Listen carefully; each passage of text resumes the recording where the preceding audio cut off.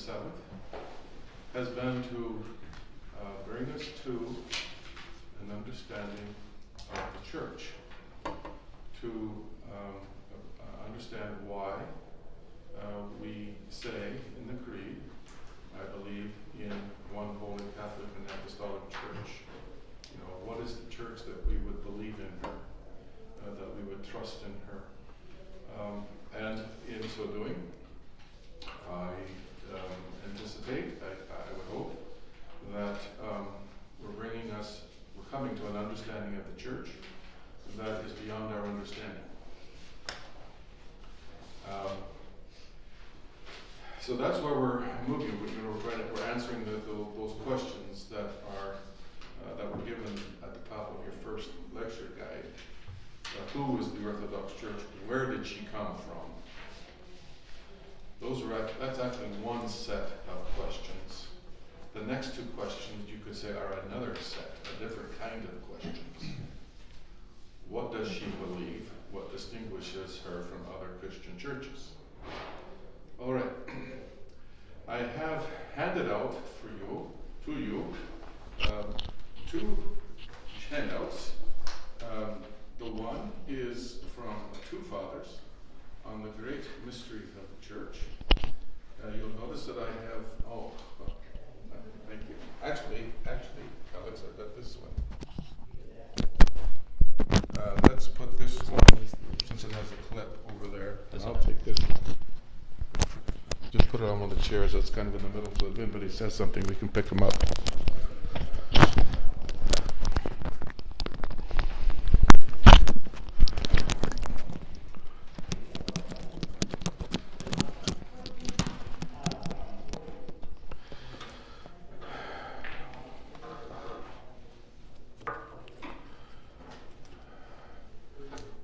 These, this handout, the two Holy Fathers and the great mystery of the Church, will answer directly, perhaps, the first two questions Who is the Orthodox Church? Where did she come from? And then they'll also give us a basis on which to address the second two questions What does she believe, and what distinguishes her from other Christian churches? You understand that the fourth question is something of a, uh, what would you call it? Oxymoron? Is that, is that the right word? Because there's only one church. There can't be many churches. There's only one body of Christ, only one resurrection. Um, so let's. Uh, you'll notice that I have uh, wide margins for you there on the right uh, for these two holy fathers uh, for you to write your notes on. This first text is from Saint Clement. He's the first pope of Rome. He was in the first century. Um, this is an ancient. This is it's called Second Clement, but it's actually an ancient Christian sermon uh, that is attributed to Saint Clement, and maybe rightfully so. Uh, but anyway, this is a very, uh, very profound and a very um, provocative and uh, um, um, very intriguing uh, text. Um, it's one of my favorite texts, actually uh, although I do not even begin to understand it. And I think that here we hear, um, we, we, we get into the, the mind of the early Jewish Christians. So then, brethren, if we do the will of God our Father, we will be of the first church, the spiritual one, which was founded before sun and moon. You'll notice what I've got in the brackets.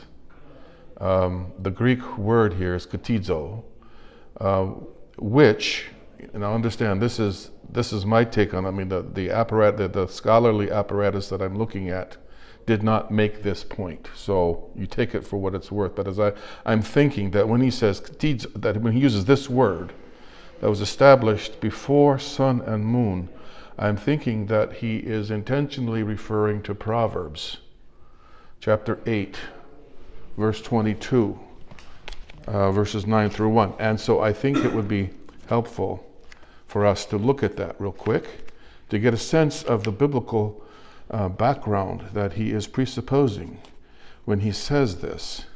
Um,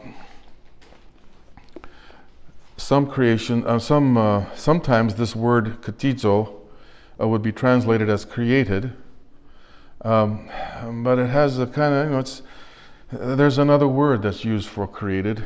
Um, uh, in the adult ed, we've talked about that word. It's the word for poieo, which a poema, a, a, creation or a poem. So God created the heavens and the earth. The word that is used is a poieo, uh, which, which it's like he, he, he wrote a poem. He built a poem. The world is a poem. This is a different word, um, and it's uh, in eight and in uh, eight twenty two. Um, it's talking about wisdom, or Sophia, uh, which in Greek is feminine. I think in Hebrew also it's feminine. Uh, which um, in the fourth century, third, fourth century or so, this wisdom was taken to be Christ, uh, which um, um, even so, you know, even though it's in a feminine word, it was taken as wisdom was taken to be Christ. But it, it created something of a stir. This is what uh, what you know, we were talking about the heresy of Arius uh, the first session or so. Arius was the one who taught that the Lord Jesus, the Son of God, was the first creature of all the things that God made. This is one of his proof texts. The Lord created me or made me. Um, um, the beginning of his ways um, um, before for for his works. Um, but it's it, the word is is as I say it, it's katizo, and um, it can also mean uh, to possess. So it doesn't necessarily mean that he created the Lord from out of uh, that he created him from nothing.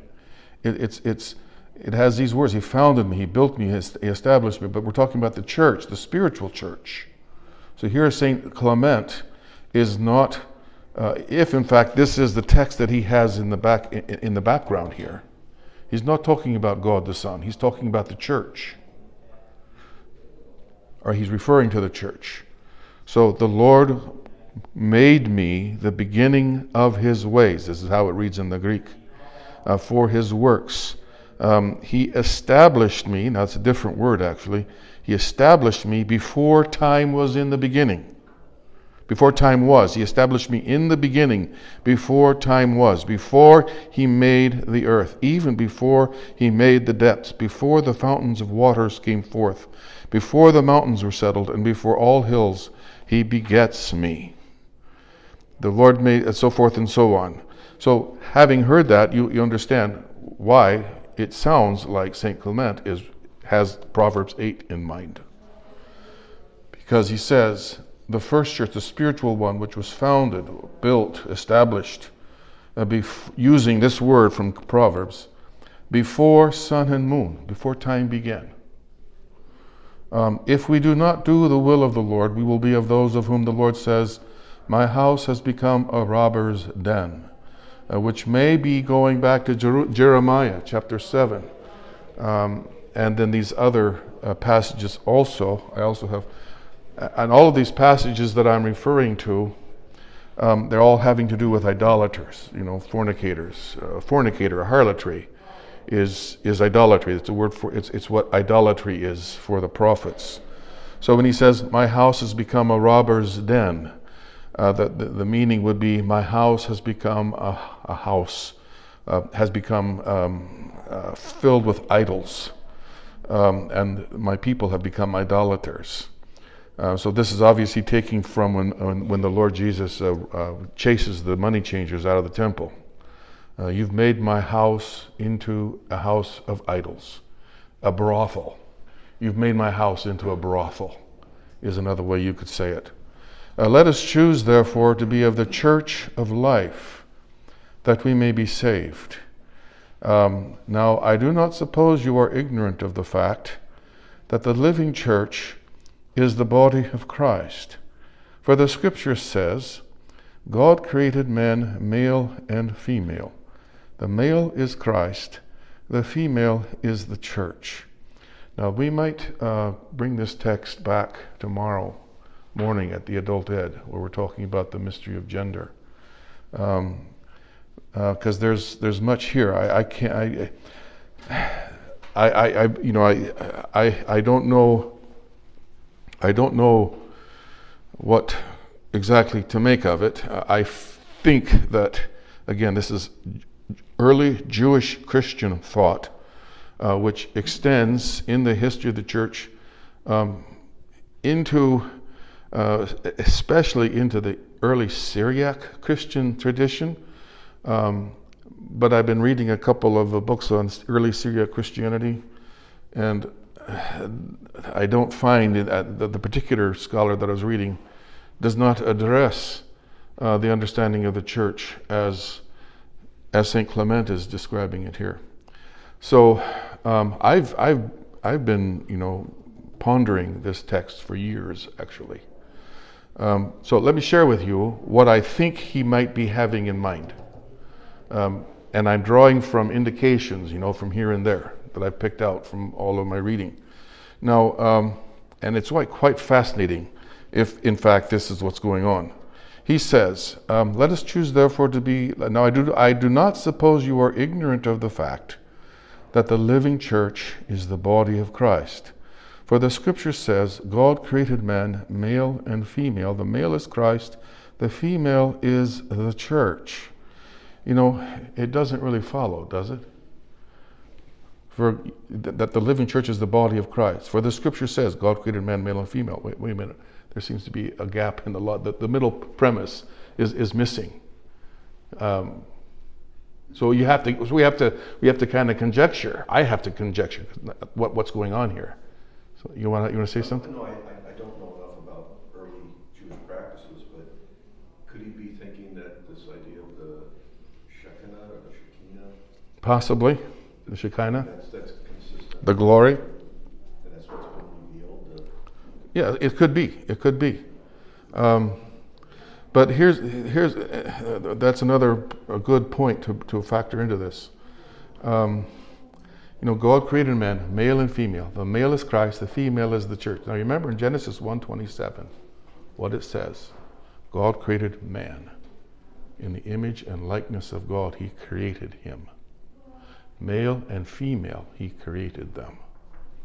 Now, um, um, in the I don't I think I you know I should I didn't even think to look what the word for image i- betula uh, is in the Hebrew. Um, sounds like it's a feminine. I'd have to go back and check it. Uh, and icona in the Greek, I think, is actually neuter. But anyway, uh, we know that the you know he so Saint Clement he has the all of the body the corpus of Saint Paul's text behind in, you know in front of me. He, that that's part of the body of his of, of the of the books. Where does he talk about this? Uh, that that um, the books and the apostles declare. So Saint Paul would be one among those books, and certainly of the of the apostles. And you know in Colossians 1:15 we have that Christ is the image of God. And St. Clement here is saying that Christ is the male. Um, and but it says also in Genesis, it goes on to say, 120, what is it, 26, 27, whatever it is, um, in the image and likeness left of God. So um, it so happens that spirit in Hebrew and in Greek is feminine. And um, I, there are many other indications that I don't know that I want to take the time to, to, to bring them all forward. I'll just cut to the chase here. Uh, I'm thinking that what is behind this is the understanding that um, man, man, in the image and likeness of God, is such because the male is an image of Christ, Ephesians chapter 5, and the female would be the image of the Spirit. Or let's say Christ, let's say the Logos, um, the Word of God, you know, the Son of God. Which um, sets up some very profound and fascinating theological implications for understanding the church. That, um, that the woman is in the image of God in that she is in the likeness of the Spirit. The man is in the image of God in that he is in the likeness of Christ, the Son of God. Um, you know, you have the Holy Spirit brooding over the face of the waters, and the and the verb there is that that of a mother hen brooding over her chicks or her eggs, uh, you know, in, uh, warming them up in order for them to hatch, so that um, that man, as male and female, is created in the image of the church, which, as Saint Clement says, did not existed before sun and moon. In other words, before time. Um, so, um, it, it, so you know, I'm, I just want to uh, uh, that man, as male and female, is in the mystery of God, and that God is uh, the image of both male and female. Um, okay, well, there's much that we can do about that, but I just want to suggest that to you that this is what's behind this. That male, female, man, woman is in, is, is in the image of God as son and spirit. Okay? You got that?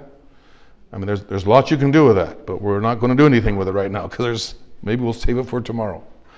Um, okay, the male is Christ, the female is the church. Moreover, the books and the apostles declare that the church not only exists now, but has been in existence from the beginning. For she was spiritual.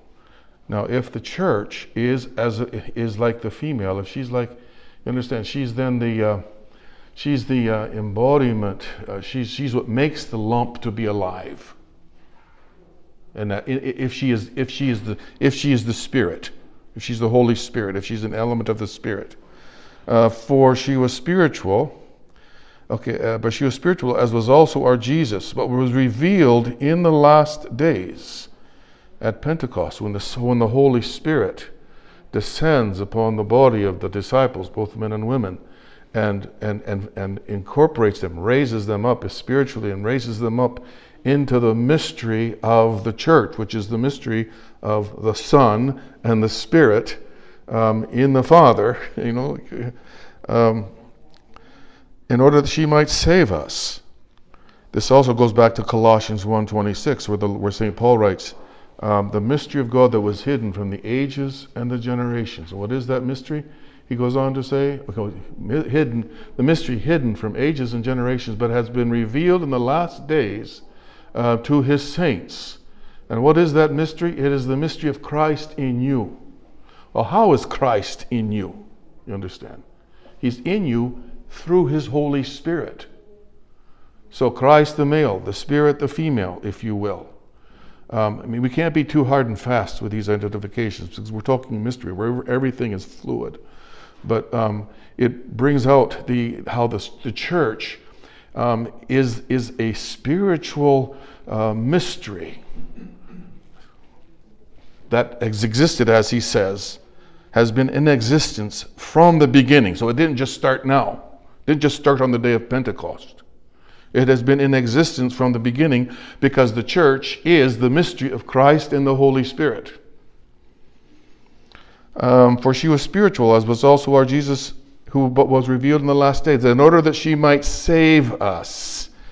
This could go back to, um, I don't have the text here, but it could go back to the wisdom of Solomon chapter 1, uh, verses uh, 14 and 15. So, wisdom of Solomon, where it says that God did not make death. He made, the, he made the generations in order for them to be, and the word is the word for salvation. But it could also mean in order for them to be healthy, to be healed, to be, to be whole, and to be alive. And then at the end of chapter 22, uh, chapter 2, uh, in the wisdom of Solomon. Again, it re- comes back to this theme of the immortality of, of man, that um, God did not, cre- that God made man in the image of his own eternity. Um, and he did not make him to die. So, that the, so, but was, so the church was revealed in the last days, so she would be revealed. Understand, if, you know, following this, this possibility that uh, what is in the back of St. Clement's mind is Christ and the Spirit as the mystery of the church, then you understand there'd be two moments of revelation in these last days. The first moment of revelation would be what? Can you guess? The incarnation. And how is Christ? Uh, how does he come? How does he become flesh? Uh, what does it say in the creed? Yes, who was uh, incarnate of the Holy Spirit and the Virgin Mary. So he's incarnate, he becomes flesh in the Holy Spirit and the Virgin Mary. And when he becomes flesh, he becomes manifest. Right? So he's so here is the mystery of the church in its first concrete uh, manifestation. So then the second uh, manifestation, the second point of revelation would be what? Yes, Pentecost, when the Spirit descends in the form of fiery tongues. And of course, all of this is already hidden in the life of Christ because he's, you know, the Virgin Mary, um, when she is, uh, when she conceives God in the flesh, it says that the that um, the Spirit will overshadow you, and it's the same verb that is used in the Old Testament for the times. There's at least three times in the Old Testament where the glory of God, the Shekinah, descends upon the temple. First, the, the tabernacle of Moses in the wilderness, and then the new built uh, temple of Solomon, and then in Ezekiel, where we're talking about a church that doesn't exist here. It's apparently the heavenly church. And on the, all three occasions, the Holy Spirit descends and overshadows the temple and fills it with the glory of God, which is Christ. The glory of God is not some energy, it is Christ um, such that nobody could enter it. Um, so, in that, um, the Virgin Mary is revealed to be uh, the temple of God because she is, she is conceived of the Holy Spirit, and the God is conceived in her in the flesh, not of the male seed, but of the seed of God, which is the Holy Spirit. Christ is, um, what does it say? Um, and he grew and increased in wisdom and in stature and favor with God and man. When the Spirit of God was upon him, he goes into the temple. The Spirit of God is upon him, and he and he preaches from uh, the prophecy of, of, Isaiah. And he says, you know, the, the, the, that uh, he will come and he will, that the blind will see, the deaf will hear, the, the lame will be made to walk. And the Lord Jesus says, um, "This has been, uh, this has been uh, come to, this has come to pass in your, in, in your day. This is now fulfilled." Going backwards, back in the life of Christ.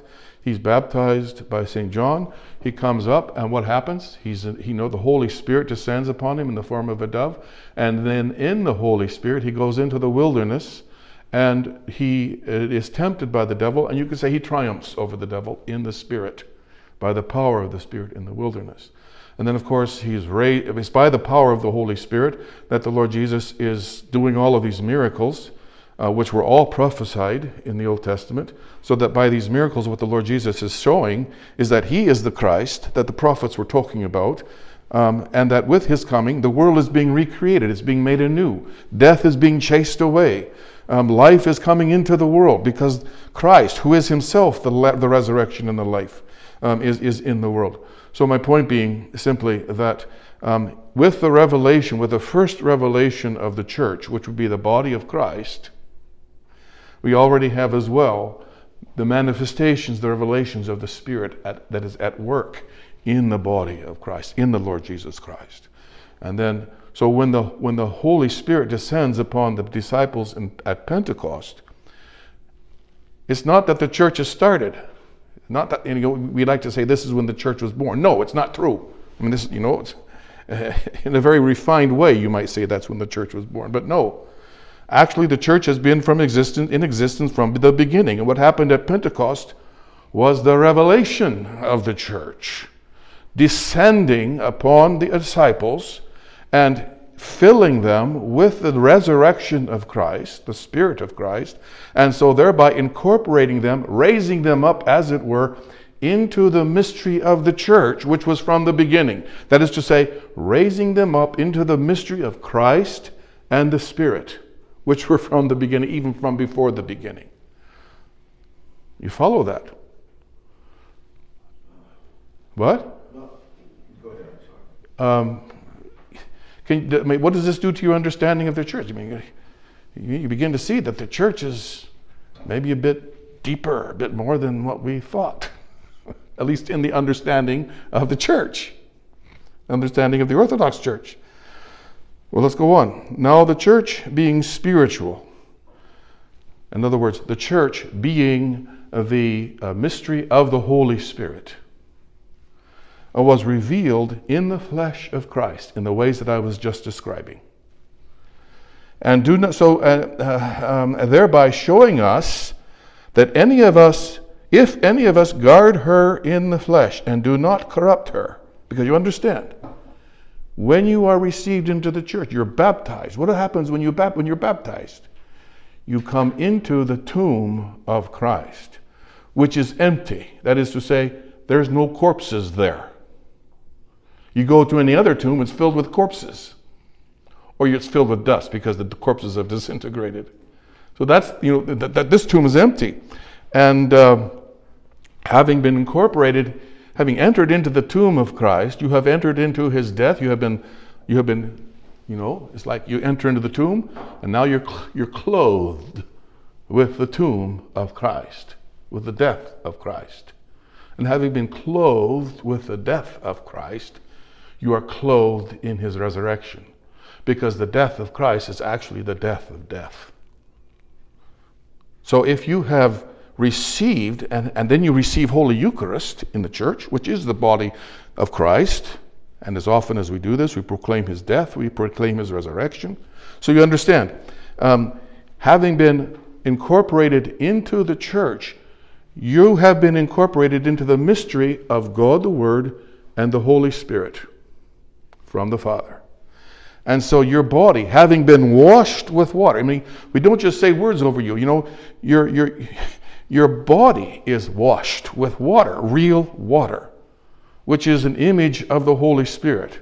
Not an, not an image in the sense that it's here's the Holy Spirit and here's the water like this, that is just kind of mirroring the Holy Spirit. It's more like um, here's the Spirit, let's say, and then here's the water. You know, I mean, the water, we invoke the Holy Spirit upon the water. And so now we believe that, you know, that's beautiful. I, I, when, we do, when we do a baptism, I, you remember I asked the kids, um, they know, you know, having listened to the prayers, you know, that this, I asked them, you know, we take this candle, we say some prayers. Come now, thou, come down now, thou, um, O King, uh, and sanctify these waters by the, by the grace of thy Holy Spirit. Then we put the, then I put the candle into the water and I make the sign of the cross. Uh, and I asked the kids at this point, okay, where did the candle, where did the fire go? And every time they have always answered, into the water. Where did the Holy, the fire is an image of Holy Spirit. So where did the Holy Spirit go? It's like we lit the candle and the Holy Spirit grabbed the candle, or we grabbed the Holy Spirit by the fire, if you will, and then we drew the Holy Spirit down into the water and the water became filled with the Holy Spirit. So when you are washed, I mean, you're washed physically, understand? So your flesh has become cleansed, not just, both, both outside and inside, because it's the Spirit, and He's spiritual. But he, he, he, he spiritualizes, He sanctifies the waters. So now, having been washed in the waters, your body is washed, but also your soul, your spirit is also washed.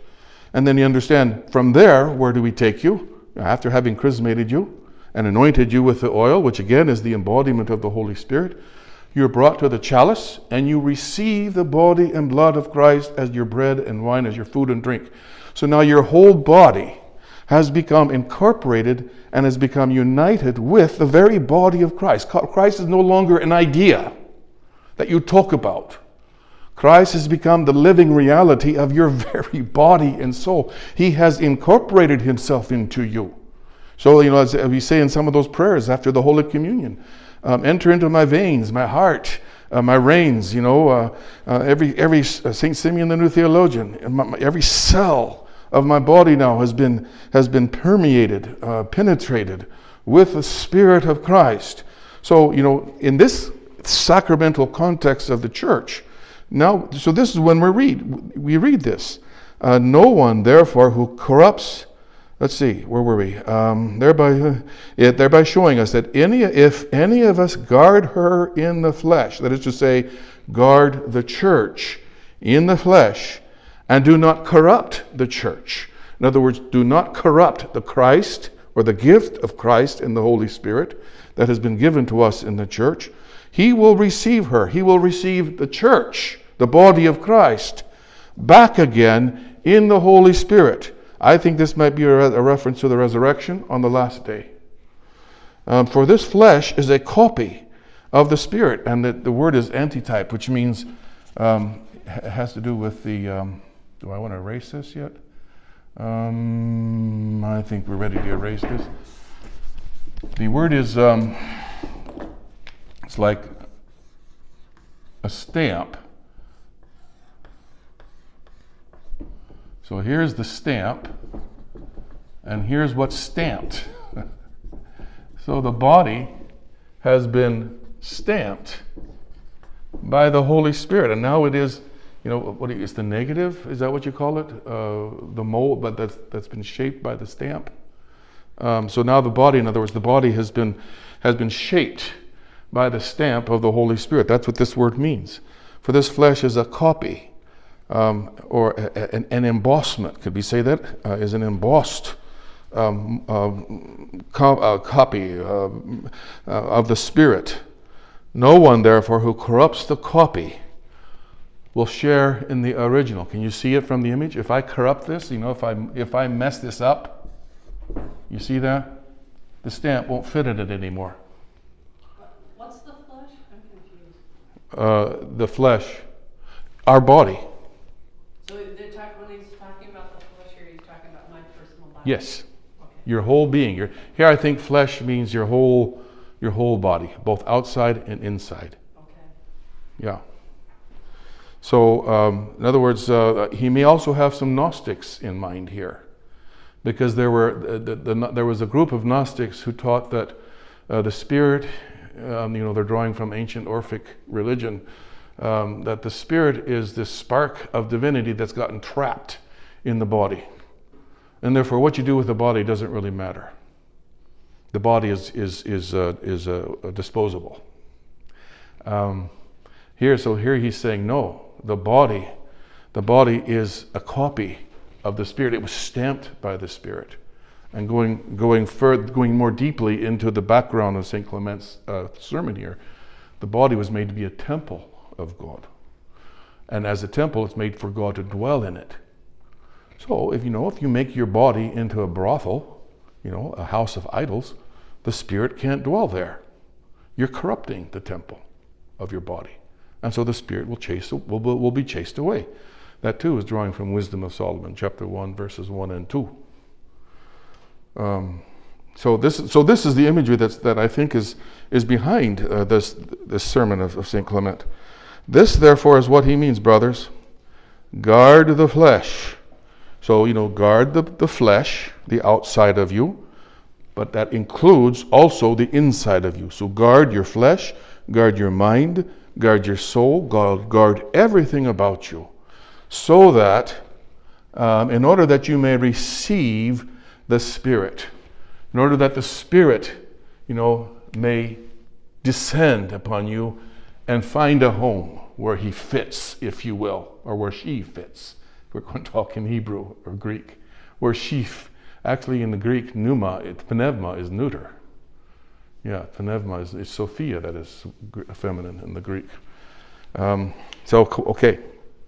This, therefore, is what he means guard the flesh in order that you might receive the Spirit. And understand, the Spirit is the Lord, the giver of life. Um, remember what it says in, in uh, John 1 4, is it?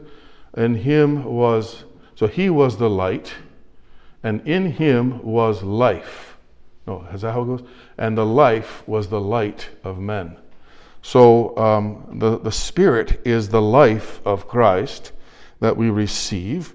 So now, if we say that the flesh is the church and the Spirit is Christ, now here's where I get a bit confused because it seems that he's changing the metaphor a bit. Um, and so I don't know why I haven't figured that one out. Now, if we say that the flesh is the church and the Spirit is Christ, I'm wondering now if he's changing the imagery uh, like to Ephesians chapter 5 or even Ephesians chapter, um, what is it, where does it say? Christ is the head of the church. So, because Christ, you know, Christ is spiritual. So uh, the, the, the, the, church here, I wonder if it, it, it's referring to, to us, the faithful. And Christ, I'm wondering if now, if we we're to understand Christ in his Holy Spirit together, who are, um, who are descending upon the body uh, of the believers, of the faithful. So, um, if we say that the flesh is the church, or let's say if we, if we say that the faithful are the church, and the Spirit is Christ, in other words, the Holy Spirit um, is the, the, the, Spirit of Christ, um, um, then, we, then the one who abuses the flesh abuses the church. In other words, abuses Christ and His Holy Spirit, abuses God. Um, consequently, such a person will not receive the Spirit, which is Christ. I think we need to remember that in the first century and in the second century, and even into the third century, uh, the church is still working out the doctrine of the, of the Holy Spirit. What is the relationship of the Holy Spirit to Christ? And oftentimes you'll find that um, the Holy Spirit is conflated with Christ and treated as though they're the same. Uh, you know, which sort of makes sense because, I mean, Christ is Spirit. The Spirit is, you know, it wasn't until the fourth century, the second ecumenical council that we talked about in 381 in Constantinople, remember, where the doctrine of the Holy Spirit was articulated finally um, as fully divine, but also as a separate or as a distinct uh, person in the Holy Trinity. Before then, the Spirit could be regarded as a power, as an energy, even uh, in some places. Um, so, going on here. Okay, so great is the life and immortality which this flesh is able to receive, if the Holy Spirit is closely joined with it. I mean, if you look at this closely, you'll see that there is not a fine distinction, or a, a, let's say a fine definition of Christ and the Holy Spirit in their relationship to one another. They're somewhat confused, um, you know, in a, in a sacred way. Um, uh, so great is the life and immortality which this flesh is able to receive, if the Holy Spirit is closely joined with it, that no one is able to proclaim or to tell what things the Lord has prepared for his chosen ones. So great is the life and immortality um, which this flesh is able to receive. I mean, this is a, you know, you, you read this in its uh, broader uh, theological background, and you begin to appreciate the profundity, the, the, the beauty, the, the, the, the, you know, the, the, the, the, the profound uh, mystery that is being that, that is coming to revelation in the church, that's being revealed in the church. So great is the life and immortality which the flesh is able to receive if the Holy Spirit is closely joined with it. Okay, I'm going to ask you. I hope you can answer this question. Um, where is the flesh joined, or where does the flesh receive the Holy Spirit? On this side or in the tomb? In the tomb in the empty tomb, in the death of Christ. That's where we receive the Holy Spirit. Um, and in receiving the Holy Spirit in the empty tomb of Christ, the death of Christ, you see, we receive life and immortality. Because the death of Christ is the death of death. So whoever is joined to the death of Christ is joined to the, is united to the death of one's death. And now in Christ our death becomes the death of our death. And so a Christian funeral should not be full of grief. We're, uh, we grieve because we realize that's when we discover how much we loved the loved one that has just departed. But as St. Paul says, we don't grieve as those who have no hope. Because the death of the Christian is the final union of one's death with Christ. So if you're united with Christ in his death, your funeral becomes, if you will, it becomes the proclamation of resurrection. And nobody's going to see that, are they? except those who have come into the tomb and who have experienced already on this side the mystery of Christ's death in them, working in them. If you're outside of the tomb, you understand what I'm saying? That, that this is not some scientific thing you can test with scientific experiment. This is a spiritual mystery that can be known only through inner experience. As one does what the church tells you to do, and you work following the church's guidance to put to death what's earthly in you. In other words, to putting to death in you everything that separates you from God. Because that's what death is it's separation from God. In that dying in Christ, you begin to discover, precisely in the moment of dying, you, be, you begin to discover the life of Christ's resurrection that is beginning to, to, to begin, it's beginning to be revealed, to be, it's beginning to reveal itself to you in an invisible way, a hidden way within you, in the joy that you begin to feel, in the peace that you begin to feel. Beautiful. You know, I have people, I've had uh, people who, who, who left the church and then they came back after years and years. And one fellow in particular said to me that he came to, me, he came to confession uh, to be, re, to be in order to be uh, restored back into the church. And he said to me, you know, um, after my confession, I was able to sleep through the night for the first time in years. There's a peace, you know, that he now had. Um, and that's, that, that, of course, is, is, is, is a very common experience.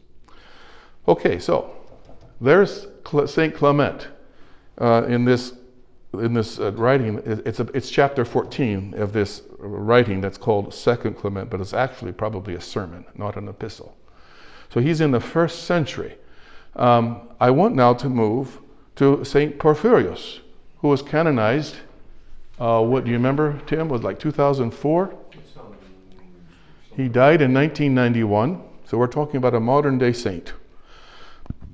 But before we move to him, do you have any questions or observations or comments that you'd like to share from, from uh, Clement of Rome, the first Pope of Rome? Then let's move on to uh, what St. Porphyrius says in his book, Wounded by Love. The church is without beginning, without end, and eternal. Just as the triune God himself, her founder, is without beginning, without end, and eternal. Isn't that something? We've gone 2,000 years and the doctrine has not changed. Still the same. In fact, St. Porphyrius is someone illumining St. Clement, and he's actually confirming uh, what we're conjecturing about the background of St. Clement that the church for St. Clement is the Son and the Holy Spirit. Because he says the church um, is without end and eternal, just as the triune God himself, her founder, is without beginning, without end, and eternal. She is uncreated, just as God is uncreated.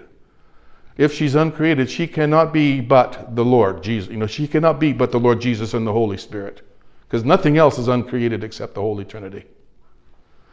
Um, she existed before the ages, before the angels, before the creation of the world, before the foundation of the world, as St. Paul says.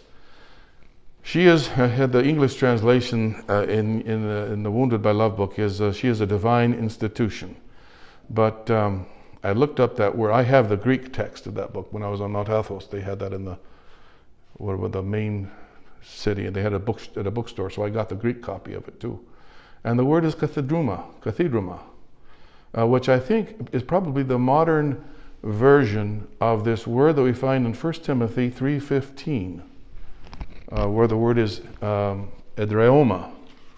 It's because it, this is what the, the modern Greek does. It, it tends to uh, um, you know uh, simplify these ancient words, um, and and um, so, it, so I'm thinking that this word is the same that Saint Timothy uses in his epistle, chapter three, verse fifteen, where he says. Um, oh, what? Um, um, but if uh, that you might know how it is necessary for one to conduct oneself in the house of God, which is the church, the ecclesia, the church of the living God, the pillar and the and the foundation, the dryoma of the truth. Um, this so institution. I, when we say institution, at least when I hear institution in the English, I feel I, I hear this uh, kind of a human organization that is governed by, you know, uh, an administration and it's and it's uh, it's uh, filled with bureaucracy and red tape and all that kind of stuff. And this is, but this is not what he's saying. He says Saint Paul, she is a divine. And I gave some of the meanings for this word uh, that is translated as institution. She's a divine establishment. In other words, she's, she's a divine foundation. Uh, she's a divine temple, a divine abode, a divine settlement, and in her dwells the whole fullness of divinity. She is an expression of the richly varied wisdom of God. She is the mystery of mysteries. She was concealed and was revealed in the last of times. The church remains unshaken because she is rooted in the love and wise providence of God.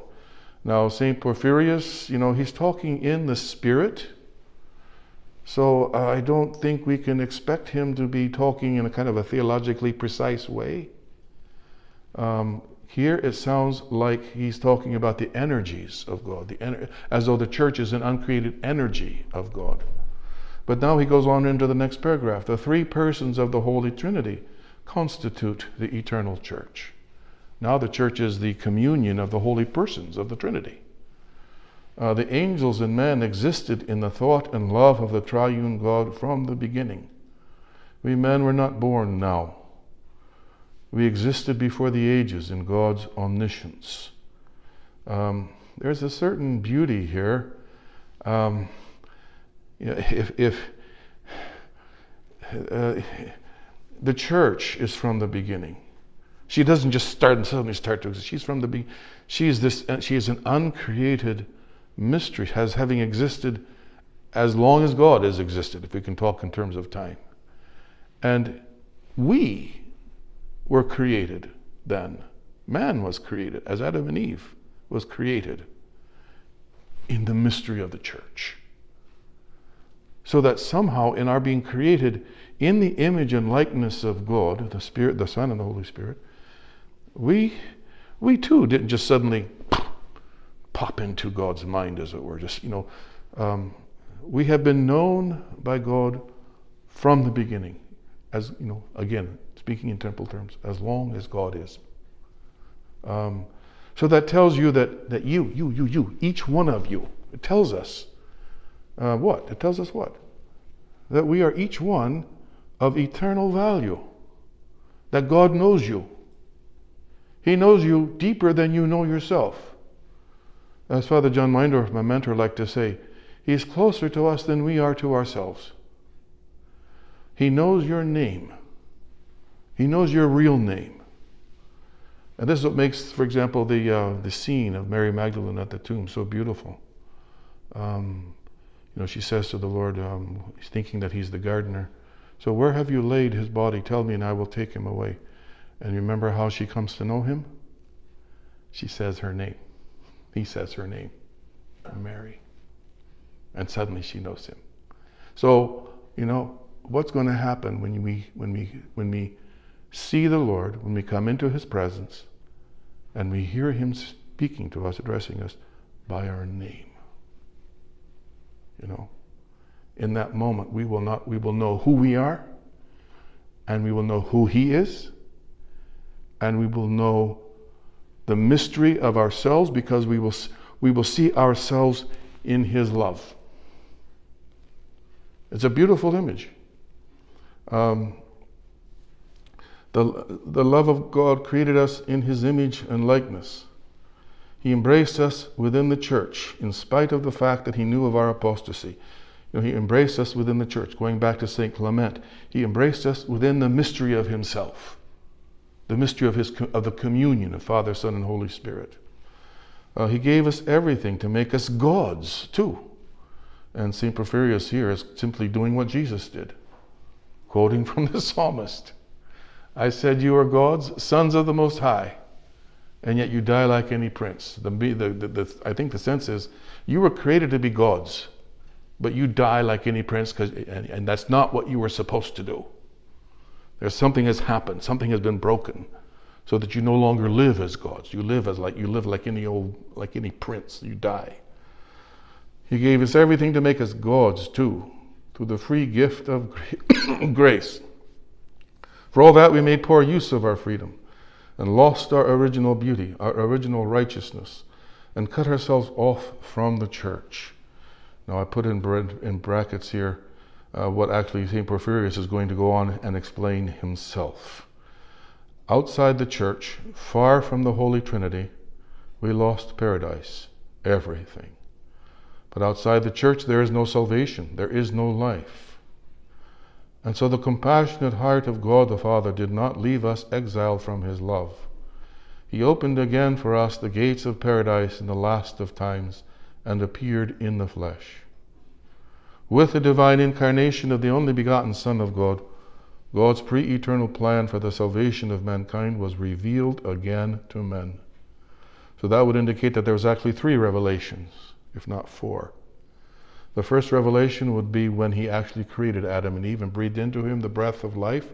And then part of that, and perhaps even the climax of that, when he would be when he built Eve, the mother of all living, the mother of life, which would be its, you know, which would be a prophecy that the woman is to be the mother of God, which means then that the that the purpose of all creation is for God to become flesh, and for man to become one with God.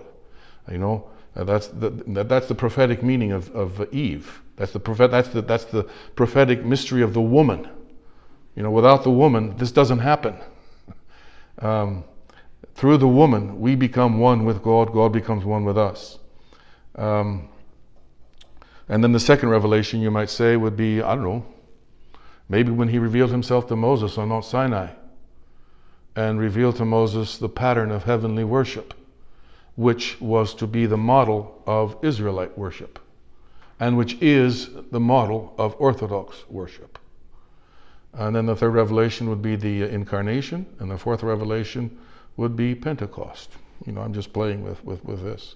But you get the sense that there have been stages of in which God has revealed himself to us, and, and we can read about these revelations of God in which he has revealed to us the meaning of our existence, uh, he has revealed to us the nature and per, uh, destiny of our of our of, of our of our of our existence. He has revealed it in the pages of Holy Scripture.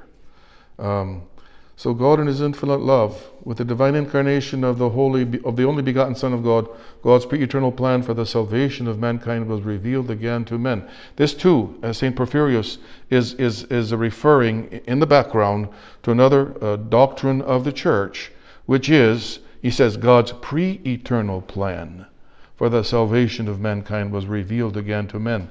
Now, what was that pre eternal plan? Outside of the Orthodox uh, tradition, I don't know, one might say uh, to forgive man so that he could live in heaven with God, something like that. Um, but, um, you know, there was forgiveness in the Old Testament. Blessed is he whose sin is, is forgiven, whose transgression is covered. The Old Testament had a profound experience of forgiveness. So there's more to it than forgiveness. And in fact, it's given in Psalm 82, verse, Psalm 81, verse 6. I said, You are gods, children of the Most High. Um, the pre eternal plan was for us to become um, one with God in the likeness of God. In other words, it was for us to become one with the image of God, the Son of God, in the likeness of God, in the Holy Spirit of God. So that the incarnation of Christ, of God the Son, was not like plan B because men fell. The incarnation of God in the flesh was the plan from the beginning. It was plan A. There was no other plan. So that's what he that's that's what's in the background here, what St. Porphyrius is saying. God's pre-eternal plan for the salvation of mankind was revealed again to men. And for that reason, it might be all the more significant that it is not until after the fall that we see Adam naming his woman Eve, which in Hebrew means life, because she's the mother of all living. After the fall, she is her purpose still has not changed, if you will. She's to become she's the mother of all living, which means I mean there's only one who's living, and that's God. So, you know, to be the mother of all living means that she's going to become the mother of God. This was the plan from the beginning. God, in His infinite love, united us again with His church, united us again with His church, uh, as we were in the beginning, so it is now, in the person of Christ, on entering into the uncreated church. Okay, the, church is the church is uncreated. She's a mystery of God. Um, we enter the realm of the uncreated. We, the faithful, are called to become uncreated by grace. Do you hear the, the, the, here's another oxymoron or whatever, it's a contradiction. You don't become uncreated. You can't become uncreated. To be uncreated is to be. I mean, you know, to become means that you came from someplace that wasn't. So, this is the beauty of it. Just as the Lord became man, in other words, he changed without changing. And you hear that in the um, third antiphon. Well, how does it go, Dan? Um, um, o Son of God, who, um, who without change became man, who without change became man. Have you ever, have you, has that caught you yet? Have you listened to it? Without change, you changed. That's what it's saying. So, in the same way, we, um, by changing, become unchanging. There's a beautiful parallel here. And uh, it's, it's, a, it's referring to the mystery of becoming one with God. So we enter the realm of the uncreated. We, the faithful, are called to become uncreated by grace, to become participants in the divine energies of God, which, you know, which flood the world and which are centered in the church, and to enter into the mystery of divinity. So you understand by now that to enter into the church is to enter into the mystery of divinity, to surpass our worldly frame of mind, to die to the old man, and to become immersed in God. When we live in the church, we live in Christ. This is a very fine drawn matter. We cannot understand it. Only the Holy Spirit can teach us it. All right. Let us go to these four questions. See what you do with them now. I'm going to ask you to answer these questions as best you can, based on how well you, how much you have caught in these two readings from St. Clement and St. Porphyrius from the first century and from the 20th century. Who was the Orthodox Church? Who wants to take that one on? How would you answer to somebody who's asking you? And even notice that we don't say, What is the Orthodox Church? We say, Who is the Orthodox Church? Hans, how would you answer that? Well, the immediate thing that comes to mind is, but I want to say it's the body of Christ. Where did she come from, then, as the body of Christ? How would you answer that? Well, I can line up what we just went over. Yeah, sure. Um, Your new understanding now, not your old understanding. yeah, still trying to keep. Right, well, you're still probably tried, still digesting. Yeah, yeah. Uh, so where did she come from? Um, it's always been there from the beginning. It's part of God's plan, and it's more than I want to say participation, but it makes it sound like we're outside and we're in, but we're always in God's mind from the very beginning. So it's it's it's hard to Okay, put words, but yeah, from from the very beginning. okay, it's very good, very good. Now let's stick with those two questions. Alex, how would you answer the first one? Who is the Orthodox Church? Well, uh, I believe the phrase you used was the communion of the three persons of God. Okay. To that effect. I think that uh, a nice way of putting it. Okay. How would you say, how would you answer, where did she come from? Where did God come from? Okay, very good. very good. Very good. Okay. um, well, Megan, what does she believe? How are we going to answer that question now? Does the question even, I mean, does the, how does the, I mean, does the question even make sense to you now? Uh, Do you find yourself feeling a little bit, um, you know, awkward or whatever, uh, dis- dis- disjointed by the question? Well, it's like, what does she believe? It's, it's such a broad question. Like, Okay, believes in the wisdom of God.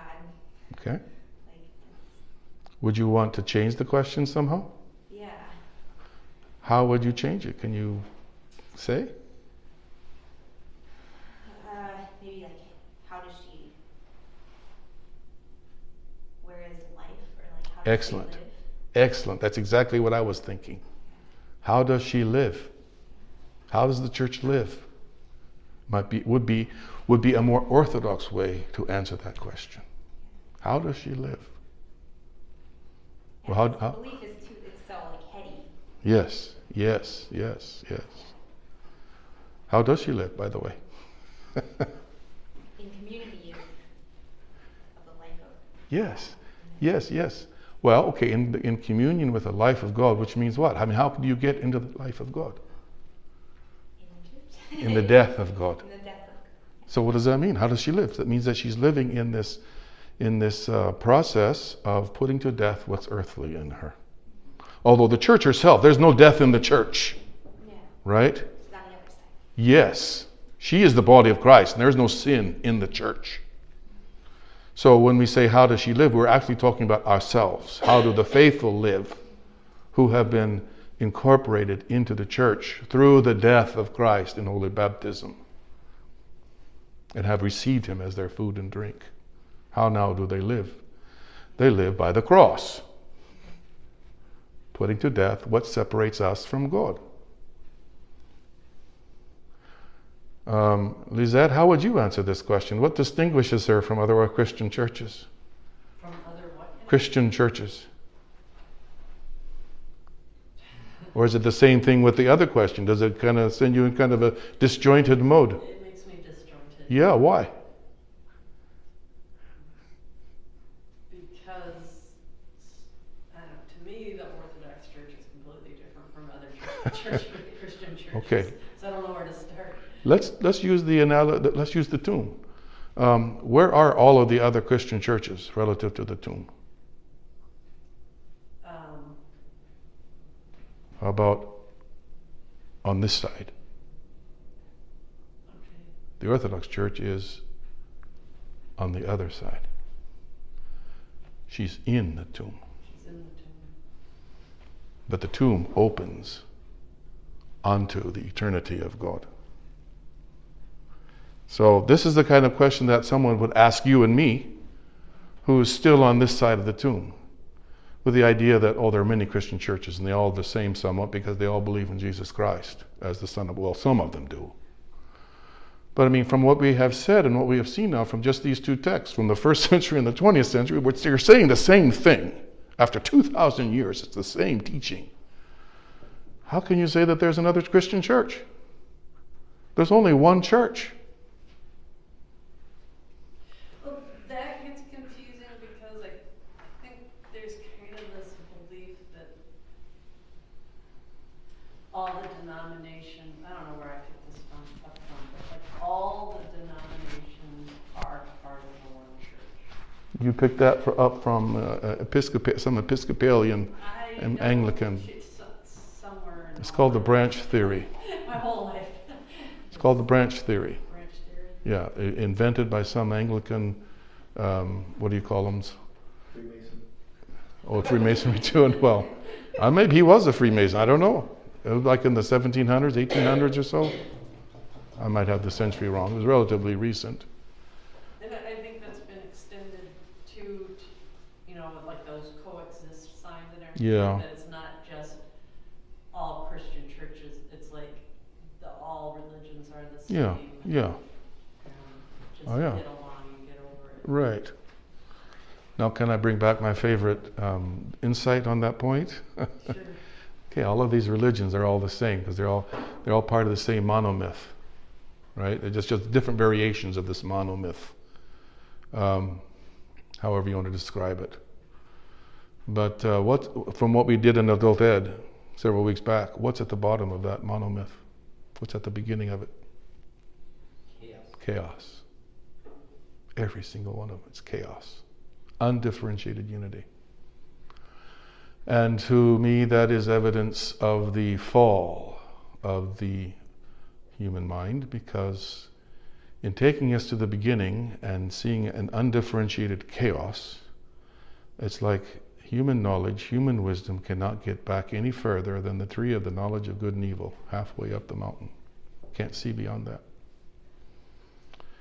It's only in the church, it's only in the in the theology of the church that we begin to, that we see that no, what's at the beginning, what's at the foundation of everything is not chaos, but it's the Holy Trinity. The Holy Trinity, not an undifferentiated unity.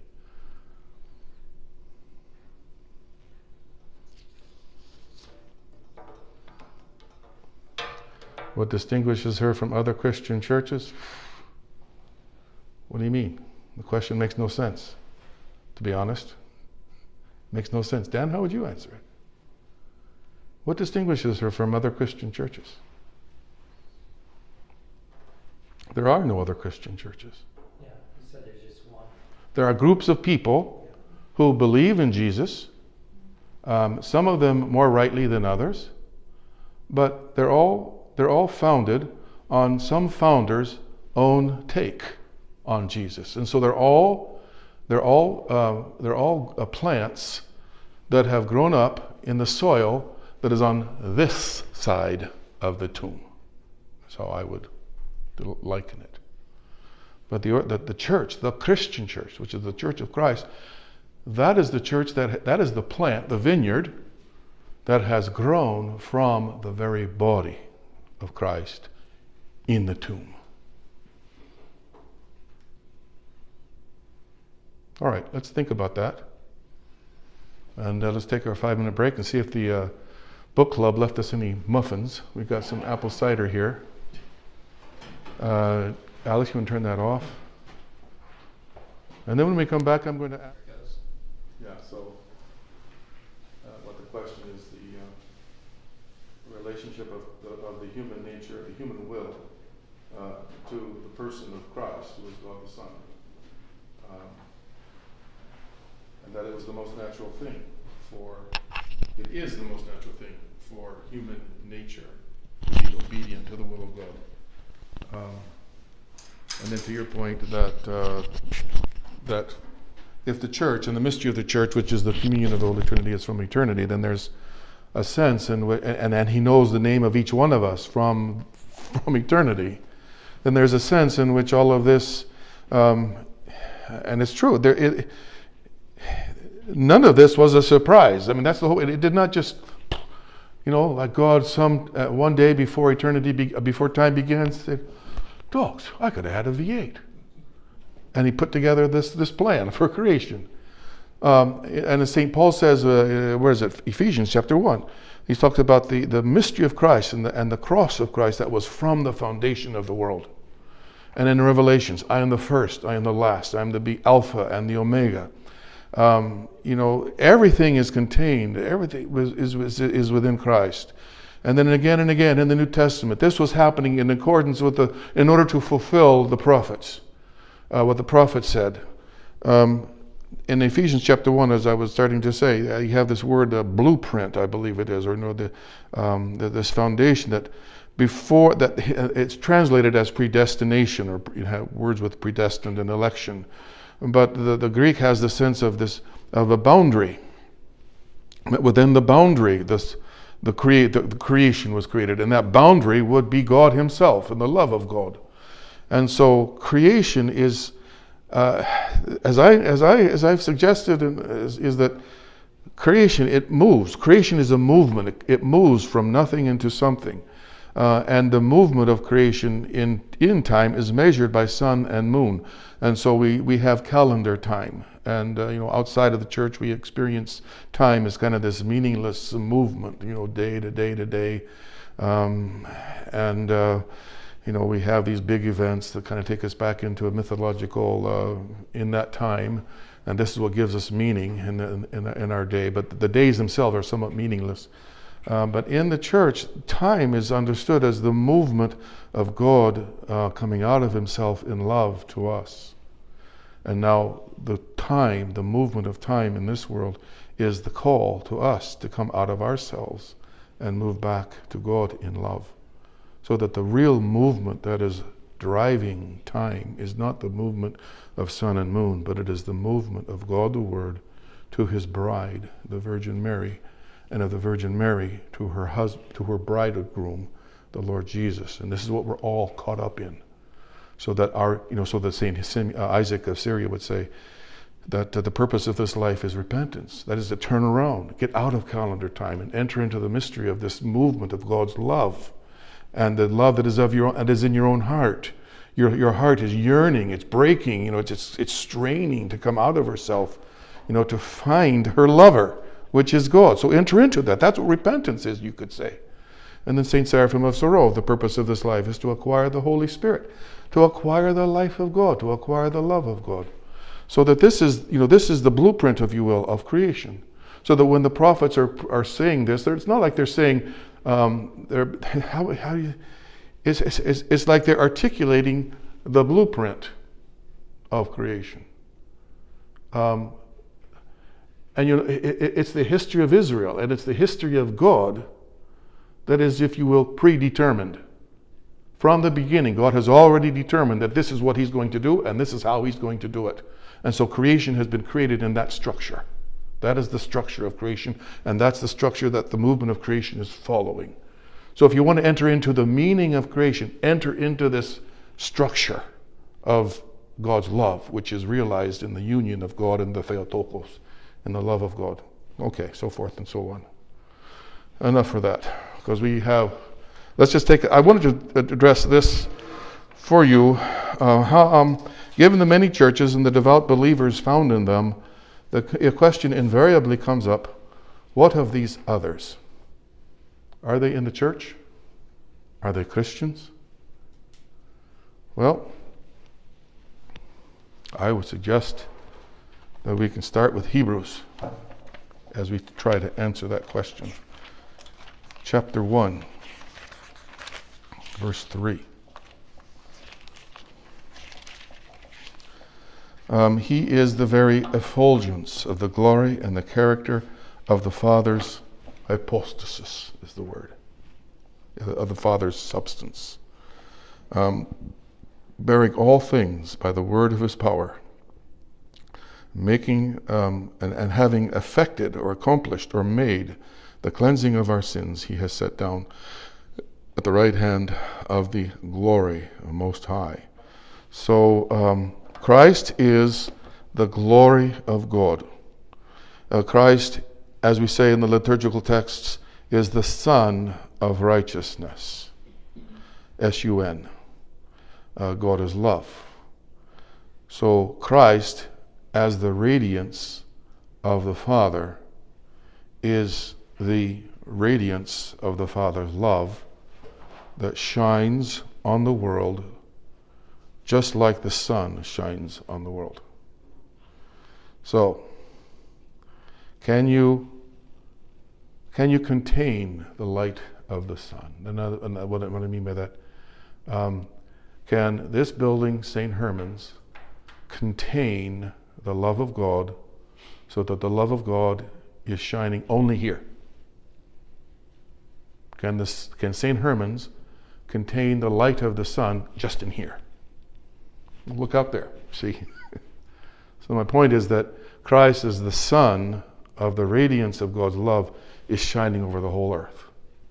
And the whole earth is filled with His glory, as it says in the Psalms. The steadfast love of God, it, it, it extends all the way up into the heavens. The Holy Spirit, we say, is the fragrance of God. So, can you contain a fragrance in just a very contained place? No, it spreads the whole place. So, what do we say? The Holy Spirit is everywhere present, filling all things. So, the Holy Spirit of God fills the earth with His fragrance. So, like the warm light of the sun and like the fragrance of perfume, Christ in the Holy Spirit, so this is the church, going to St. Clement, Christ in the Holy Spirit is the mystery of the church, covers the earth. The church is His body. It's not a building or a human organization defined by clearly drawn bureaucracies, rules, and regulations. Now, the canon of faith gives expression to the substance of the church, but it cannot exhaust that substance, since the substance is Christ, God Himself in His Holy Spirit, in His resurrection, where his glory and life fill the whole chambers of death. I think this is part of the significance of the fact that God died and, and, was buried in the tomb. It says in a new tomb, in, an in a new tomb. But if he's buried in the tomb, that means that he fills the whole place of death with his, you know, with his uncreated radiance. So even in the pit of our human worldly existence, which is death, the world and human nature is permeated with, it is soaking wet with the light and the fragrance of Christ and His Holy Spirit. The church, then, as we now have seen it described both in St. Clement and St. Porphyrius as this radiance of God, emanating from God, its uncreated energies. Um, you know, the church being the very communion of the Holy Trinity, being the mystery of Christ and the Holy Spirit. The church then is everywhere present, filling all things. Everywhere present, filling all things. You cannot go outside the church. Wherever the name of Jesus then is uttered, there he is present. I told Dave, my friend at the Y, that I have 10 grandkids, so the Christmas gets more expensive every year. And he says, Oh, Christ. And then he remembered that I'm a priest, uh, in a manner of speaking. So I turned to him and I said, Well, yeah, actually, that's what I say too, but I add, Have mercy. I, the point of the story I'm wanting to make is that you know when David when Dave said Christ, even though it was just you know this you know whatever, the Lord was present. He was making the Lord present, and he liked that. He said, "Oh, I'm going to remember that one." Um, then we see we have Deuteronomy 4 7 that might be applied to this question. Um, for what great nation is there that has a God so near to it as the Lord our God to, is to us whenever we call upon him? And then Psalms 145 The Lord is near to all who call upon him, to all who call upon him in truth. So you get the picture? Here's the Son of God, the radiance of the Father, uh, the, the fragrance of the Holy Spirit just covering the earth. So that means that, you know, we're, we're, we're, we're in God's presence. We're, we're, Christ is here. We can't see him, but I mean, he's here. He's, you know, everywhere we go is chock full of the presence of God. So whenever you call upon Jesus, I mean, he's right there. He's right there. So when Hans, Alex, Megan, Lisette, when you called on the name of Jesus, wherever you, Tim, and when he was in the Baptist church, when you called on the name of Jesus, um, he was there. He was there. And if you were calling on him in truth, he was right there. And he would be, you know, he's, if you're calling on him in truth, that means you're calling on him from your heart. And so he's going to, he's going to, he's going to answer it. And he's going to lead you. He's going to bring you if you keep follow, if you keep calling him for him in truth. Um, I went to Father Roman uh, years before he died, and I was asked, talking to him about the Jesus prayer. And uh, he said, you know, what he advised me was, uh, you know, just just just remember that uh, the Lord is is everywhere. He's around you. So, uh, you know, He's with you. So, uh, you know, just uh, when you're saying when you're saying the when you're praying to the Lord, just pray to Him because that that He's He's everywhere. He's all around you. You know. He's with you. He's you know, bring the others that are around you into the into the prayer. You know, and, um, so it was the, it was the same idea. It was the same understanding, the same experience that we're, you know, I think that perhaps we have the sense that, that we're going along in life and, and the Lord is way out there, right? So when I remember, I, I say a prayer and I call upon the Lord and I hope that He hears me from way over there. And maybe if I talk, talk loudly enough in my heart, or if I talk with, enough, with a feeling that's intense enough, maybe He'll take notice of me and maybe He'll come to me and answer me. That's not the picture. He's right there. Just, I mean, imagine the light of the sun that's shining on us even now to be an image of the presence of Christ. He's right there. So it's not that Christ comes, it's rather that I am turning and recognizing and, and calling to mind the reality that Christ is present to me right here and now. And that cannot be confined within four walls of a stone building. Tim? Isn't there, I forgot where it is in the gospel, but don't the disciples come to Christ and say, hey, uh, there's these guys over there, and they're uh, the Samaritans. Yeah, they're, they're, they're doing stuff Yeah. that, that we're supposed to be doing. Yeah. Say, look, if they're doing it in my name. Yeah, they're not for, against us, they're for us. Yeah, well, I shared with you the story of my grandfather, you know, in China. They're casting out devils. And how did they do it? They, in, in the name of Jesus. Um, and sometimes they'd have to be praying for an hour, two hours, sometimes all day to cast out this demon uh, from, these, from these people. But it was always centered on the name of Jesus. And they were very clear this, this can only be coming out through the power of the name. Um, um, Isaiah chapter 55 Seek the Lord while he may be found, call on him while he is near. In other words, call on him. In other, he is near. He's near here and now. I think this may be going back to going, uh, casting forward to Hebrews, the epistle to the Hebrews, where the, uh, the uh, Saint Paul writes, uh, "Repent while it is today." We're in the eleventh hour.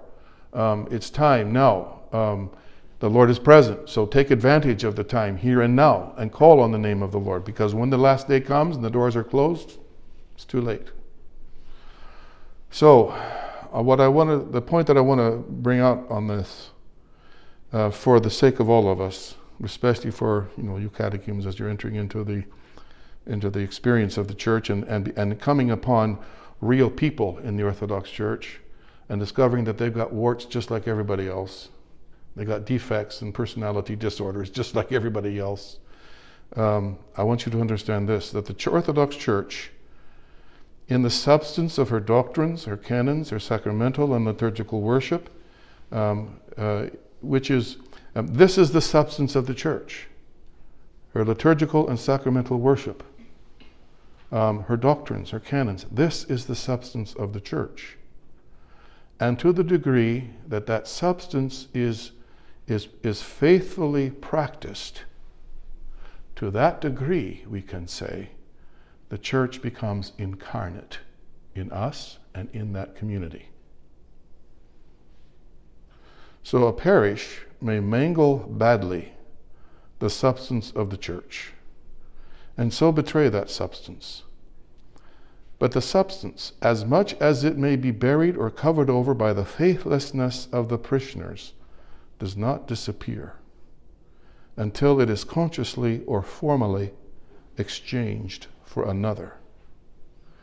Because the, the, the, substance of the church in her liturgical sacramental worship is the mystery of the Holy Trinity, which has been, which has been from the beginning and will be forever. Um, so if you come into an Orthodox church and you discover that the people there are tearing each other up, you know, stabbing each other in the back. The priests hate the people. The people hate the priest. People hate each other. They're always arguing. And when they're saying in the service, it, you know, you, you, it just feels dead. It feels, you know, you want to be somewhere else. You wonder how on earth could anybody become Orthodox? Why, did, why would anyone want to become Orthodox? Just remember that um, the, you know, the behavior of the people is not the substance of the church. Okay, can you remember that? Um, and even in that church, if you will if we would attend to what we're hearing in the prayers of the church and in the worship of the church, so long as they're not changing it, we are in we are listening to, we are in the presence of Christ.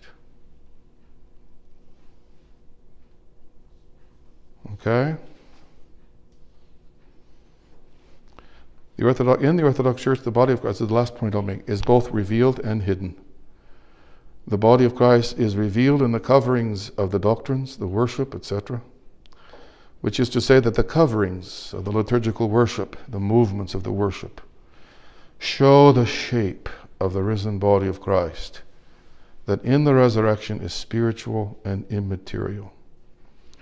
These coverings of the church, her doctrines, her prayers, her liturgical sacramental worship, the rituals, the movements, are so many aers or veils beneath which is the risen body of Christ, the empty tomb that opens onto the resurrection.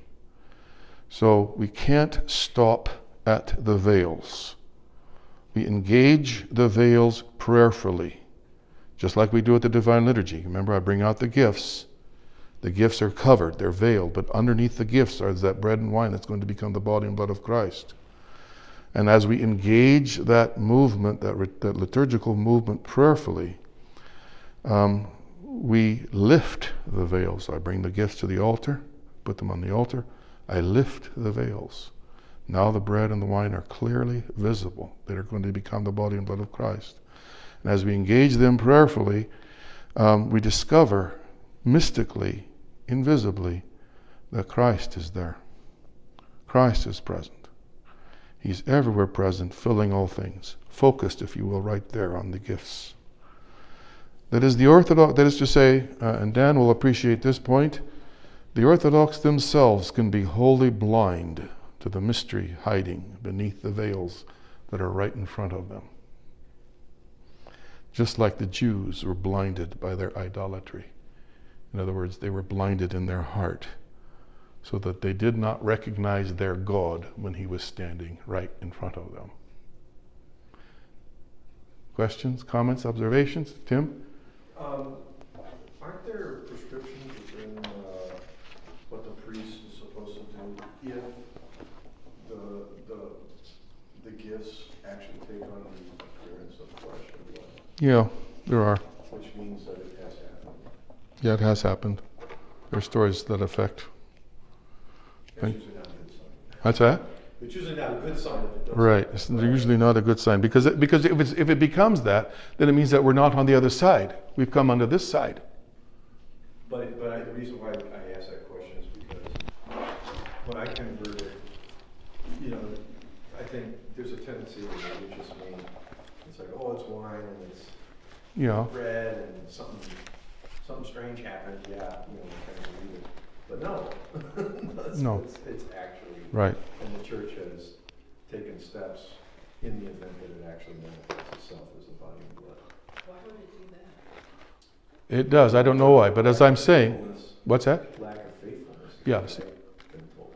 Yes. You know, it's interesting. Some it has happened not just in the Orthodox Church. It has happened like in the Roman Church. Mm-hmm. But we have different responses to it. As I, what I've heard is that if it happens in the Roman Church, they, they take that as a sign that of providence.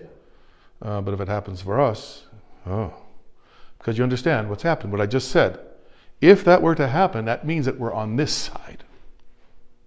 We're on this side. We're not in the tomb anymore. So we leave it alone. We don't want to be on this side. We're to be on the other side. That's not consumed.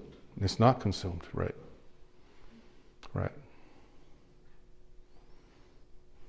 Okay, that's a kind of interesting note to end on, isn't it? Never even, that's iffy. Didn't even Yeah, consider that as a possibility. I'm not worried about it, to be quite honest. I'm gonna be watching carefully. Yeah, right. No, I'm, yeah, don't worry about it. Okay, let's say a closing prayer. Truly it is me to bless you, Theotokos, over blessed